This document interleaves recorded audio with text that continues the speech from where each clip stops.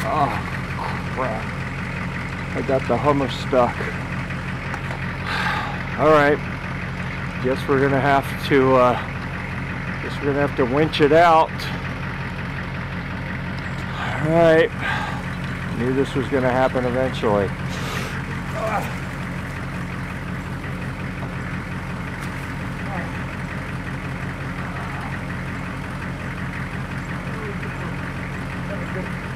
Here we go. Oh yeah, winch it around. Victory is mine.